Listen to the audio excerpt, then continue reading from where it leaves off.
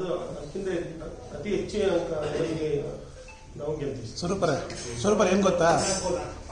ನೀವು ನವೀನ್ ಅವ್ರಿಗೆ ಸಪೋರ್ಟ್ ಮಾಡ್ತೀರಾ? ರೇವಣ್ಣವ್ರಿಗೂ ನಿಮಗೂ ಅಷ್ಟು ವಿಶ್ವಾಸ ಇಲ್ಲ. ಸರ್. ಕಡಿಮೆ ಒಂದು ನಿಮಿಷ ಕಡಿಮೆ ನೀವು ಹೇಳೋದ್ರಿಂದ ರೇವಣ್ಣ ವಿರೋಧ ಮಾಡಿದ್ರೆ ಸರ್ ದಯಮಾಡಿ ವಿಶ್ವಾಸ ಕಮ್ಮಿ ಇದೆ ಅಂತ ಹೇಳ್ಬೇಡಿ. ವಿಶ್ವಾಸ ಇನ್ನೂ ಜಾಸ್ತಿ ಆಗಿದೆ.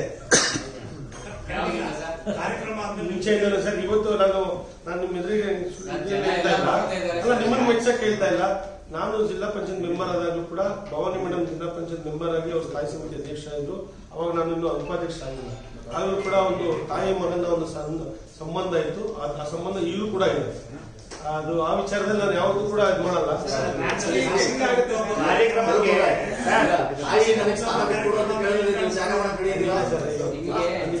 ಕಾರ್ಯಕ್ರಮಕ್ಕೆ ಹೋಗಲಿ ಅಂತ ಹೇಳ್ಬೋದು ಫೋನ್ ಮಾಡಿ ದಾಖಲೆಗಳು ಇಲ್ಲ, ಸರ್ ಅದು ಅವಶ್ಯಕತೆ ನನಗಿಲ್ಲ ಸರ್ ಸರ್ ಈಗ ಚರ್ಚೆ ಇದೊಂದು ಸಂವಾದ ಮಾಡಕ್ ಹೋದ್ರೆ ನಾವು ನೀವು ಕೂತ್ಕೊಂಡು ಸಂವಾದ ಮಾಡೋಣ. ಅಲ್ಲ ಸರ್ ಇದು ಸಂವಾದ ಅಲ್ಲ. ಸರ್ ಇದು ರಾಜಕೀಯ ಆಂಗಲ್ಗಳಲ್ಲಿ ಕೇಳೋದು. ಗಣಪತಿ ಕಣ್ಣಾಗಿ ಬಂದು ರೇವಣ್ಣ ಒಂದು ದೊಡ್ಡ ಕಾರ್ಯಕ್ರಮ ಮಾಡ್ಕೊಂಡು ಪೂಜಾ ಕಾರ್ಯಕ್ರಮ ಮಾಡ್ಕೊಂಡು ಸಾವಲ್ ಕಾಣಿಸ್ಕೊಂಡಿಲ್ಲ. ಕೊಟ್ಟೆ ಇದೆ ಅಂತ ನಮ್ಗೆ ನಿಮ್ಮ ಸಮಾವೇಶ ಅಲ್ಲ ಸರ್ ಅವತ್ತು ಅವತ್ತೊಂದು ಹೇಳ್ತೀನಿ. ಪೆಂಡಾಲ್ಗೆ ನಮಗೆ ಆಹ್ವಾನ ಬಂದಿತ್ತು. ಅವತ್ತು ನಮ್ಮ ಸಂಜೀವಿನಿ ಸಾಕರಿ ಆಸ್ಪತ್ರೆದು ಜನರಲ್ ಬಾಡಿ ಮೀಟಿಂಗ್ ನಂದು ಮುಗಿದಿದ್ದೆ ನಾಲ್ಕೂವರೆ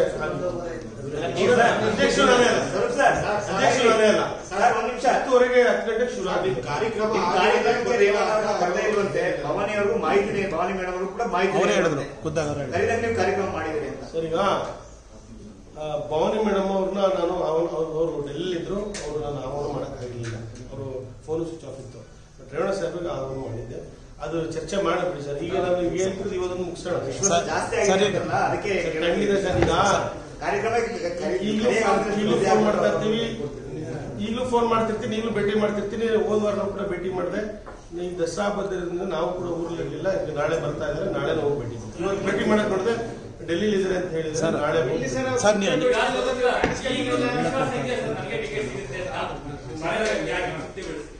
ಚಾನಲ್ ಬರೀತಾ ಇರಲಿಲ್ಲ ಸ್ವರೂಪರೇ ಸ್ವರೂಪರೇ ನಿಮ್ ಜೆ ಡಿ ಎಸ್ ಪಕ್ಷದಿಂದ ಅಭ್ಯರ್ಥಿ ನಿಲ್ಲಿಸ್ತೀನಿ ಅಂತ ಹೇಳಿದ್ರಲ್ಲ ಅವರೇನು ಪಕ್ಷೇತರ ನಿಂತರೆ ನೀವು ಸಪೋರ್ಟ್ ಕೊಡ್ತೀರಾ? ಅಂದ್ರೆ ಪಕ್ಷೇತರ ಅಂದ್ರೆ ಆ ಪಕ್ಷೇತರವಾಗಿ ನಿಂತ್ರೆ ನಿಂತ್ರೆ ನೀವು ಸಪೋರ್ಟ್ ಕೊಡ್ತೀರಾ? ಅಕಸ್ಮಾತ್ ನಿಂತ್ರೆ. ನೀವೇ ನಾನು ಹೇಳ್ತಾ ಇದೀನಿ. ಪಕ್ಷೇತರ ನಿಲ್ಲ ಪ್ರಶ್ನೆನೇ ಇಲ್ಲ ಜೆಡಿಎಸ್ ಇಂದಾನೆ ನಿಲ್ಲ ಶಾಸಕರು ಹೈಜಾಕ್ ಮಾಡಿದ್ರು. ಈ ಬೆಳಗ್ಗೆ ಏನಾರು ಮಾತಾಡಿದ್ರೆ ಅವತ್ತು ನೀವು? ಬೆಳಗ್ಗೆ ಬೆಳಗ್ಗೆ ಏನಾರು ಮಾತಾಡಿದ್ರೆ? ನವೀನ್ ಹತ್ರ? ಸರ್ ಎಲ್ಲ ಚರ್ಚೆ ಮಾಡ್ಬೇಕು. ಬೆಳಗ್ಗೆ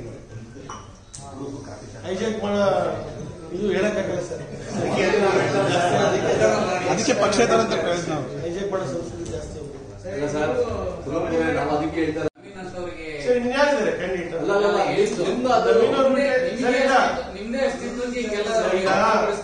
ಈ ವಿಚಾರ ಯಾವ ಗ್ಯಾರಂಟಿ ಮೇಲೆ ಸರ್, ಇವೆಲ್ಲ ಈಗ ನಿಮ್ಗೆ ಪರ ನಿಂತಿದ್ರಿ ಸರ್ ಶಾಸಕರ ಇದನ್ನ ಎಂ ಎಲ್ ಎಲೆಕ್ಷನ್ ಬೇರೆ ಇದೆ ಈ ಬೈ ಎಲೆಕ್ಷನ್ ಬೇರೆ ಇದೆ. ಈಗ ಅವರು ಮನೆಯಲ್ಲಿ ಇನ್ನು ಇಬ್ರು, ಮೂರು ಜನ ಅಣ್ಣ ಅದು ಬೇರೆಯವರು ಯಾರು ಇದ್ರೆ ನೀವು ಹೇಳ್ದಂಗೆ ಪ್ರಶ್ನೆ ನಾವು ಉತ್ತರ ಕೊಡಕ್ ಆಗ್ತಿಲ್ಲ. ಯಾಕಂದ್ರೆ ಹಲವಾರು ಆಕಾಂಕ್ಷಿಗಳಿದ್ದಾರೆ ಅವ್ರ ಮನೆಯಲ್ಲಿ ಅಂತ. ಇವತ್ತು ಅವ್ರ ಮನೇಲಿ ಒಮ್ಮತವಾಗಿ ಇವತ್ತು ತಾವೇ ನೋಡ್ತೀರ ಗೊತ್ತಿಲ್ಲ. ಅಕ್ಷಯ ಅವರು ಏರಿಯಾಗೆ ಹೋದ್ರೆ ಗೊತ್ತಾಗುತ್ತೆ, ಅವ್ರು ಆಗ್ಲೇ ಕ್ಯಾನ್ವಾಸ್ ಶುರು ಮಾಡ್ಕೊಂಡು ಕ್ಯಾಂಪೇನ್ ಶುರು ಮಾಡ್ತಾರೆ ಅಣ್ಣ ನವೀನ್ ಅನಿಲ್ ಅಂತ ಏನು ಸೇರಿ. ನಮ್ಮ ಇಂಟೆನ್ಷನ್ ಇಷ್ಟೇ ಸರ್. ನವೀನಿಗೆ ಕೊಡ್ಬಾರ್ದು ಅಂತಲ್ಲ ನೀವು ನಮ್ಮ ಪಕ್ಷದ ನಿರ್ಧಾರ ಅದು. ಒಟ್ಟಿಗೆ ಇಟ್ಟಿದ್ದವ್ರಿಗೂ ಟಿಕೆಟ್ ಕೊಟ್ಟು ಕೆಲಸ ಅಂತ ಇದ್ರಲ್ಲಿ ಇನ್ನೂ ಅಭ್ಯರ್ಥಿಗಳು ಬೇಕಾದಷ್ಟು ಮಾತಾಡ್ತಾರೆ.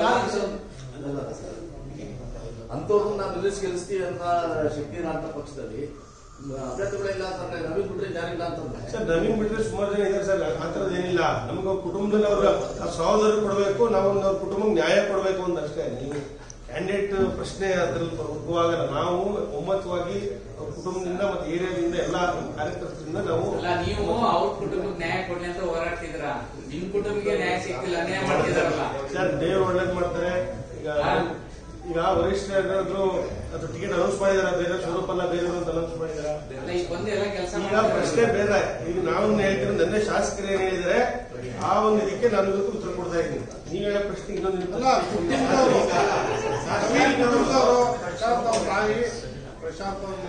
ಒಪ್ಕೊಂಡಿದಾರ ಖಂಡಿತ. ಒಪ್ಕೊಂಡಿದ್ದಾರೆ. ಅವ್ರ ಕುಟುಂಬ ಎಲ್ಲ ಒಗ್ಗಟ್ಟಾಗಿದೆ.